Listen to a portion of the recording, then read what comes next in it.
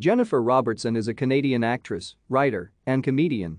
She best known for her starring role as Jocelyn Schitt in the CBC sitcom Schitt's Creek, for which she was nominated for a Screen Actors Guild Award and four Canadian Screen Awards.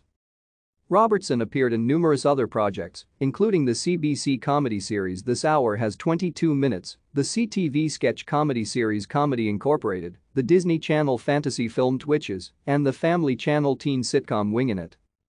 Robertson was born in Canada. She is the daughter of the Canadian musical comedy duo Bob Robertson and Linda Cullen. Raised in Vancouver, British Columbia, Robertson has a brother named Patrick. Robertson made her acting debut in a 1998 episode of the sketch comedy series Sketchcom.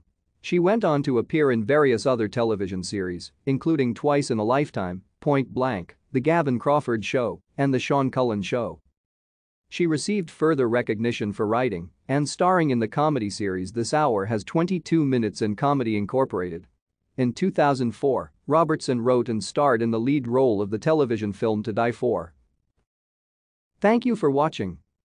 Like and subscribe if you would like to view more of our videos. Have a nice day.